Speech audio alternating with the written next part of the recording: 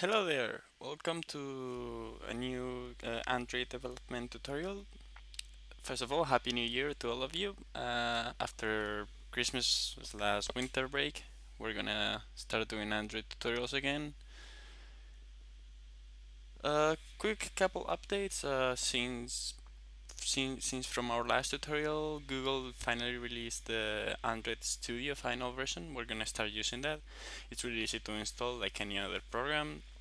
You just download, if you're on a Mac, the DMG file and install it normally, and if you're on a Windows, uh, the exec.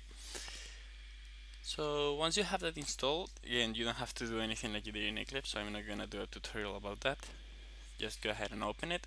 And today what we're actually gonna cover is a really simple tutorial. It shouldn't take us long, but it's uh, how to develop a really simple user interface. Alright, so first thing we're gonna need to do. Since we're using Android Studio instead of Eclipse, that's why I'm gonna use some features that Eclipse didn't have and I'm gonna make this tutorial much easier than it would be if you were using Eclipse because of the automatic implementation features that Android Studio has. Alright, so as the first thing you should see, if you haven't used this before, you won't have any recent projects. So just go ahead and start a new Android Studio project. It's very similar to Xcode actually, so if you're familiar with that, you'll be preset.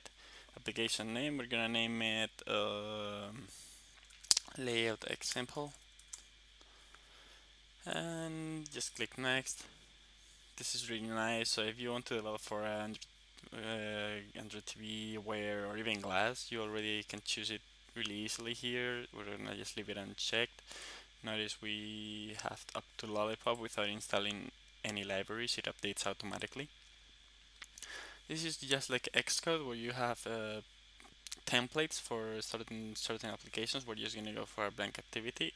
If you guys want to cover any of this just uh, just post it in the comments. And I'll I, I mean I don't know all of how all of them work yet because I just installed this a couple days ago but I'll learn and do a tutorial about it. So just click next. Activity name this is just normal so finish now it takes a bit to actually actually set up the project, but once it's done, it's really smooth, much more than Eclipse in compile time, everything. you won't. It's years light ahead of it. Let's make this bigger. Uh, tell me how the how the font size is for you. If it's a bit if it's a bit small, I can change it, but I think this is pretty good this is very good, it's a tip of the day, since there's so many new things in Android, in the Android Studio, I just keep it on to be able to see them, because if you just read them one after another, you won't really remember it unless you like have an amazing memory, which I don't. So just close it. And the first thing we're going to do is we're going to create a new activity. Now if you were in Eclipse, you would just uh, create a new XML and then you would create a new activity and sync them through the through the XML. Now, because Android Studio is so nice, just go to Java and here, and we're going to say right click, new, we're going to say activity. Just go for blank activity. We're gonna name it my layout activity just go with my layout. And we could even say launcher activity here and it would it would basically replace my activity in the manifest. But I want you to, I want to show you how to do that manually so we're just gonna say finish.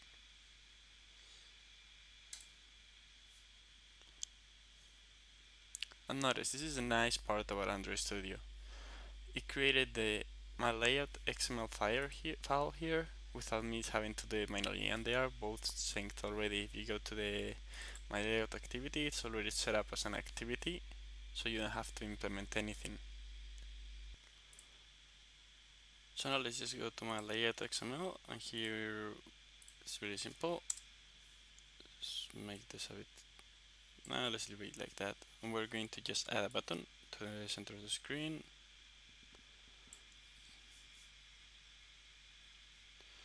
Actually, I prefer it like that.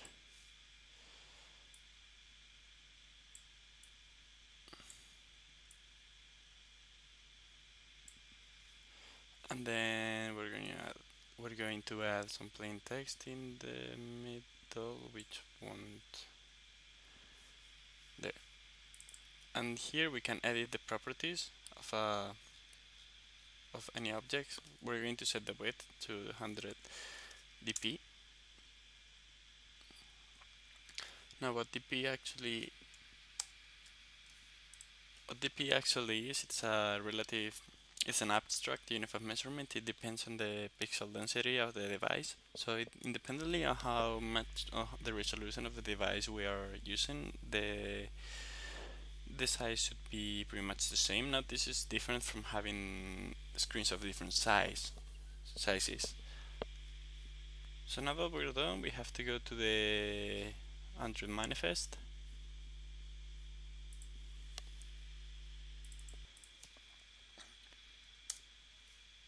Let's space this out so it's clearer. We have two activities, the main and the layout that we just created. Now what we want to do is have the activity we just created as the, as the launch activity.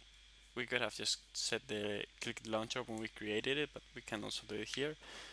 And the only thing you need to do is put my layout activity, the name of the class, in there, and that will do it. Now because we don't because it's already set up in here we have to change it ma to main activity because it's saying uh, Android Studio saying hey you're using this you're declaring the same activity twice. There's something wrong here. So we're done. We can just go ahead and run it normally. If you're now I'm using an emulator for this tutorial. If you're using a device it'll ask you. You can set that set that up the first time you you run it now let's just wait a bit. We're gonna choose this emulator for the Nexus 5 and okay. There we go. Here we have uh, our edit text.